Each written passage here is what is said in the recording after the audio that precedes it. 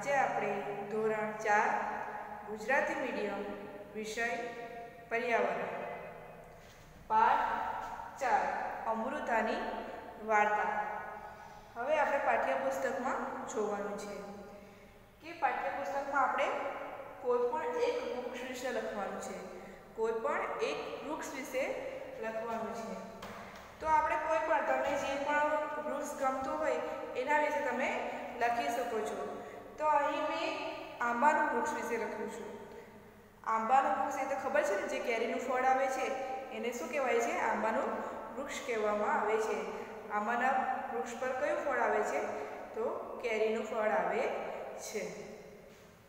તો આપણે કોઈ પણ એક વૃક્ષ વિશે લખો પાઠ્યપુસ્તકમાં. તો અહીં છે કે વૃક્ષને ફૂલ છે કયા રંગનું.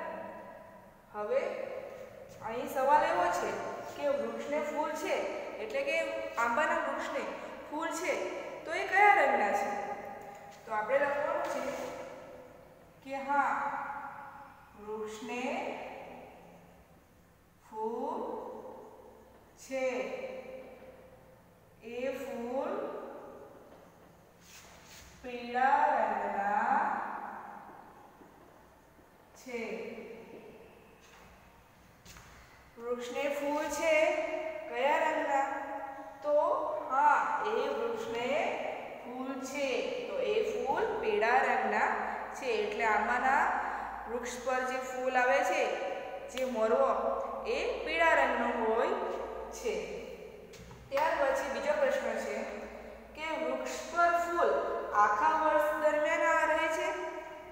વૃક્ષ પર જે આંબાના વૃક્ષ છે, એના પર ફૂલ આખા વર્ષ દરમિયાન રહે ના આખા વર્ષ દરમિયાન રહેતું નથી. અમુક સમય માટે જ રહે છે.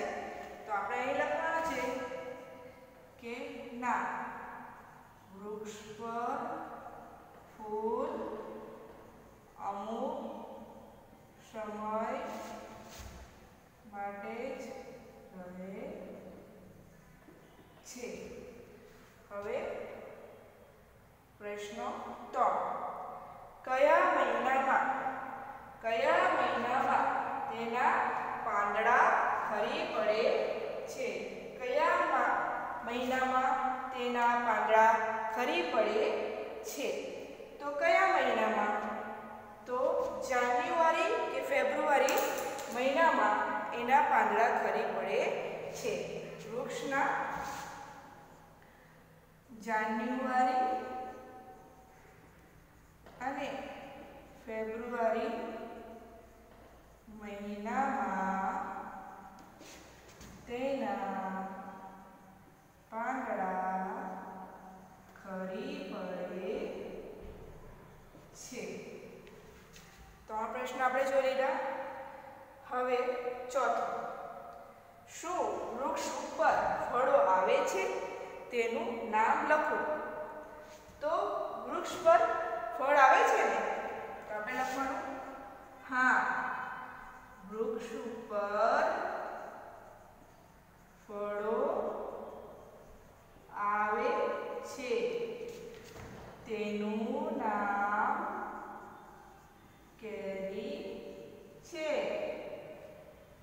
હવે પાંચમો પ્રશ્ન કયા મહિનામાં વૃક્ષ ઉપર ફળ બેસે છે કયા મહિનામાં વૃક્ષ ઉપર ફળ બેસે છે તો કયા મહિનામાં તો માર્ચ કે એપ્રિલ મહિનામાં વૃક્ષ પર ફળ બેસે છે. હવે છઠ્ઠો પ્રશ્ન.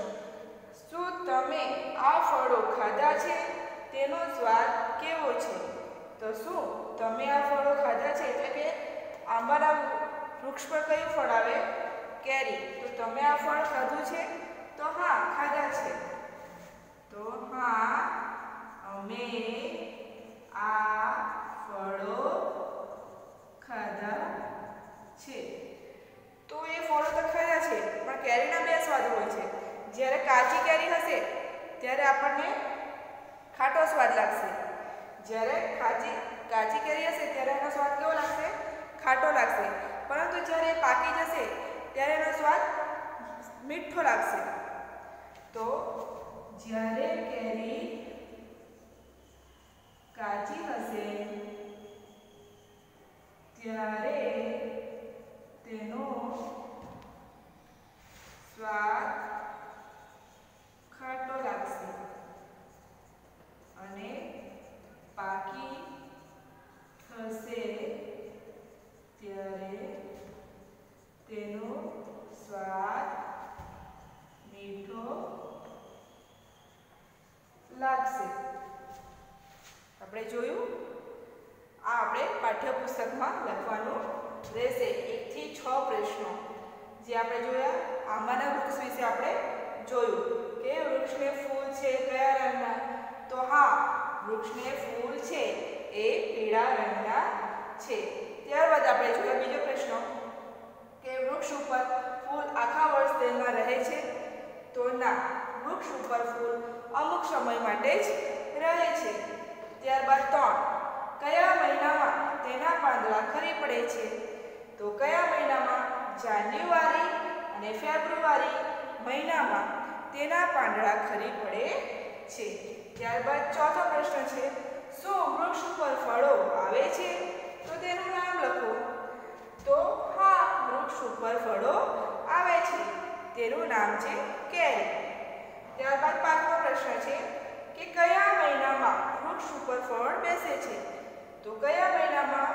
માર્ચ કે એપ્રિલ મહિનામાં વૃક્ષ પર ફળ બેસે છે? છઠ્ઠો પ્રશ્ન, શું તમે આ ફળો ખાધા છે? તેનો સ્વાદ કેવો છે? તો હા, અમે આ ફળો ખાધા છે. જ્યારે કેરી કાચી હશે ત્યારે એનો સ્વાદ ખાટો લાગશે. અને જ્યારે કેરી બાકી હશે, ત્યારે એનો સ્વાદ મીઠો લાગશે. આમ આપણે પાઠ્યપુસ્તકના એકથી છ પ્રશ્નો જોયા છે. એ તમારે તમારે પાઠ્યપુસ્તકમાં લખી લેવું. હવે આપણે જોઈએ.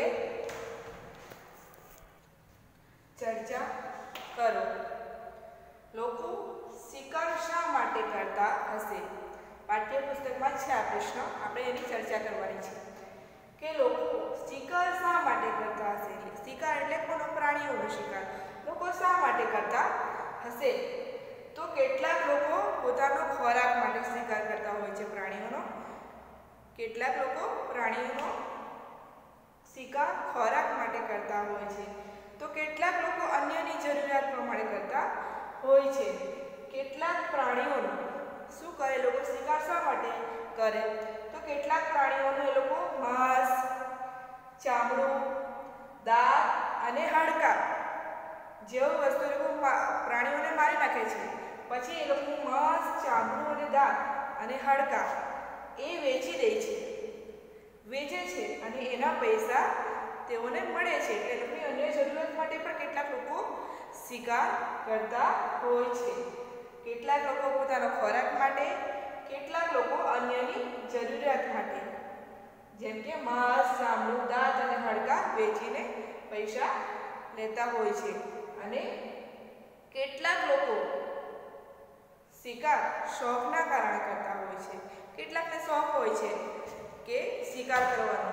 જેમ કે રાજાઓને શોખ હોય છે શિકાર કરવાનો. તે કેટલાક લોકો શોખના કારણે પ્રાણીઓનો શિકાર કરતા હોય છે. તો આપણે જોયું કે લોકો શિકાર શા માટે કરતા હશે?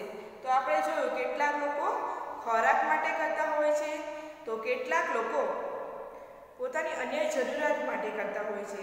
જેમ કે શું વેચીને પ્રાણીઓને મારી નાખે છે અને માંસ ચામડું અને હાડકાં જેવી વસ્તુ એ લોકો મારી નાખીને પ્રાણીઓનું વેચીને તેઓ પૈસા કમાતા હોય છે અને કેટલાક લોકો શોખના કારણે પ્રાણીઓનો શિકાર કરતા હોય છે.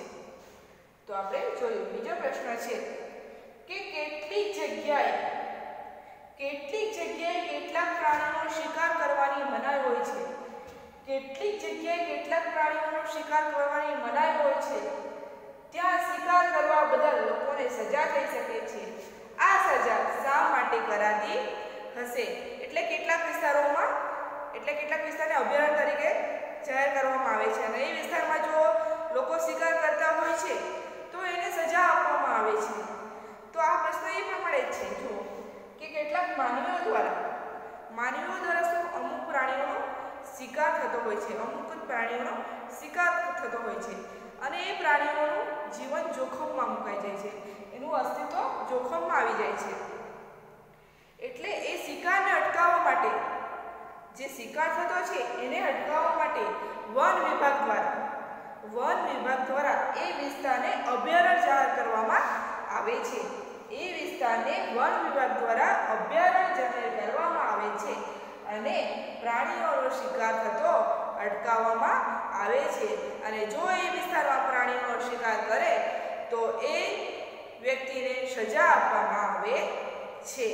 આમ સરકાર દ્વારા જે વન વિભાગ દ્વારા જે કરવામાં આવ્યું છે, તેથી પ્રાણીઓની સંખ્યા જળવાઈ રહે છે.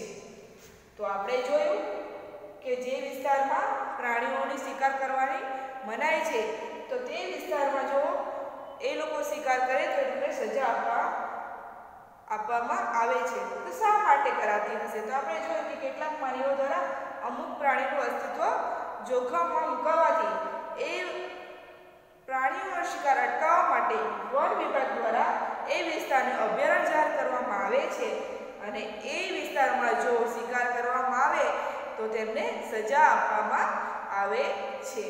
તો આપણે જોયું બે પ્રશ્ન કે લોકો શિકાર શા માટે કરતા હશે? અને બીજું જોયું કે કેટલાક પ્રાણીઓનો શિકાર કરવાની મનાઈ હોય છે. ત્યાં શિકાર કરવા બદલ લોકોને સજા થઈ શકે. તો આ સજા શા માટે થતી હશે? તો તેના વિશે આપણે જોયું. લોકો શિકાર શા માટે કરે છે? ખોરાક અને અન્ય જરૂરિયાત અને કેટલાક શોખ માટે કરે છે. ને પ્રાણીઓનું અસ્તિત્વ જોખમમાં હોય છે, એના અસ્તિત્વને જળવાઈ રહે એ માટે વન વિભાગ દ્વારા એ વિસ્તારને અભયારણ્ય જાહેર કરવામાં આવે છે. આપણે આ પાઠ્યપુસ્તકના બે પ્રશ્નોની આપણે ચર્ચા કરી. આજે આપણે જે પણ શીખ્યા છે, એના આધારે હું તમને કેટલાક પ્રશ્નો આપીશ. એ તમારે પર્યાવરણની નોટમાં સુંદર અક્ષરે લખવાનું રહેશે. Thank you